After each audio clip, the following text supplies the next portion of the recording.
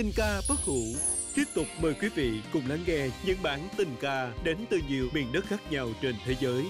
Gặp nhau giữa dòng chảy nhạc Việt, Được chấp đôi cảnh mới với những lời Việt đầy chất thơ Và trở thành một phần không thể thiếu trong trái tim người yêu nhạc. Mai rời xa, tình còn nghe xót xa. Mai rời xa